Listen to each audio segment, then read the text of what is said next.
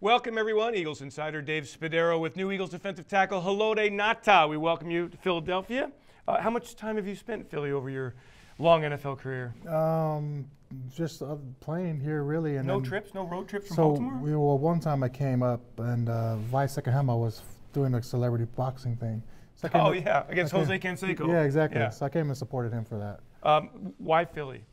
Um, why not? You Yeah. know, the defensive line is stacked, and uh, I just couldn't be more excited to play against another with another dominant defensive tackle in, in Cox and with Timmy and Destiny and then the DNs, and so it's just it got so ex- I just got so excited when um, Eagles came calling, and I'm like, no way, are you serious? Like, Eagles want me to want me to play for them? And they already have a stacked defensive line. Then you trade for Michael Bennett, and I'm like, yeah, let's go. Yeah, let's do it. So I mean, in, in truth, that that really is th- this is a deep, uh, deep, talented line. I can't remember. Been doing this for a long time. You don't know me, but I can't remember all the way back to the Reggie White days. I can't remember a group as deep, potentially, and talented as this group. Yeah, I'm, I, I, I'm like you. I don't, I don't remember, but um, I'm just happy to be a part of it, and hopefully we can just continue what we, what they've been doing here, and um, get another championship. For those fans who remember you from your days in Baltimore, dominant Pro Bowler every year, Super Bowl winner.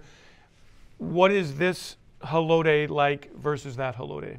I'm just older and wiser, better looking, Absolutely. um, a little more gray hair, but um, you know I just learned a lot. You know I was just I was in Baltimore just three four, and then I went to Detroit and played four three, so I understand the defense now, um, the way they want to attack, uh, and then you know us trying to copy Schwartz um, defense out in Detroit. So you know just, I know I just got to learn some of the terminology, and then um, you know just get back into it again. And uh, I'm just excited to be back, and hopefully I can contribute and, and make a lot of big plays for the Eagles. What kind of reputation does Jim's scheme have around the league? I mean, do defensive linemen talk about it and go, "Wow, I'd love to play in that scheme"? Yeah, um, you know, we just know it's attacking defense. You know, the way you see the D linemen getting upfield and, and the linebackers filling the holes, and um, it's just exciting um, attacking defense. And so I'm just glad to be a part of it. For those who label you as a run stuffer, fair, not fair, not complete?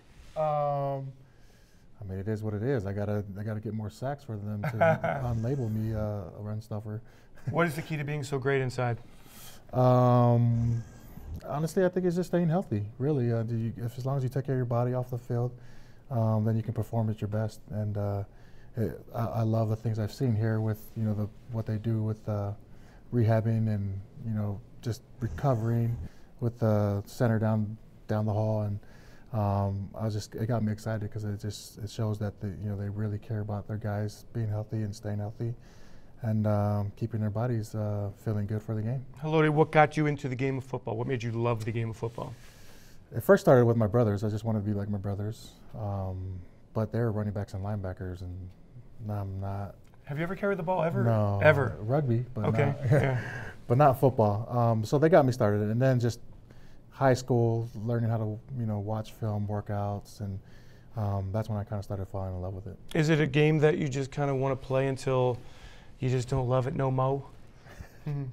I love it too much. Yeah, yeah, yeah. I know exactly. Yeah. I love it too much. I don't know if it'll ever stop. Yeah. But yeah, like Why? you said, What, what, what makes you love? What, what, what about the game do you love? I love the camaraderie. I think that that's you know one of the things um, that is so special. You know, you'll never get to meet another group of guys um, from all walks of life. You know, that come from so many different um, cultures and so many different areas, and uh, to come together to win a championship that's so special. And that feeling that you have that it, it's um, it, you'll never have that feeling again. So I love that feeling. Um, and then the grind. I love the, the film watching, the workouts, the um, just the dog days of camp. It- It's just it, it's all.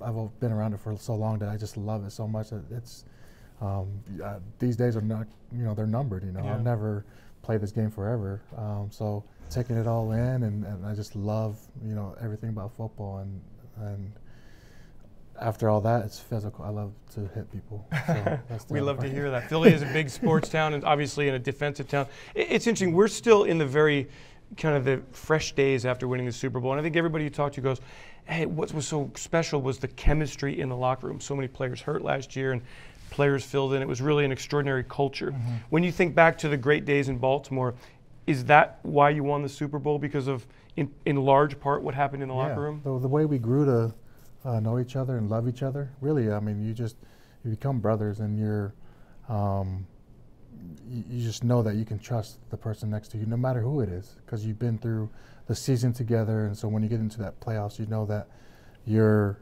tightness, your uh, camaraderie is gonna is gonna push you through to the end, and um, you could see that with the Eagles last year in the playoffs, and, I, and it was fun to watch, and just it's uh, very addicting, and I want to be a part of it. Do players root for a team in the Super Bowl if you're playing for another team? Um, you know, I, I don't know. I don't. I don't. Did you root for the Eagles? Um, You can tell us now. mainly, mainly I did because I had a lot of former teammates on the Eagles team, um, like from Baltimore. Yeah, with know, Torrey and with Timmy, yeah. Otherby, Yep, yep. Timmy, and uh, Corey Graham. Yep. So it's just yeah, you had a lot of former Ravens that I played or players that I played with, and uh, so it was hard not to root um, for the Eagles. So just to educate you, we hate the Cowboys, um, like with a huge Yeah. passion.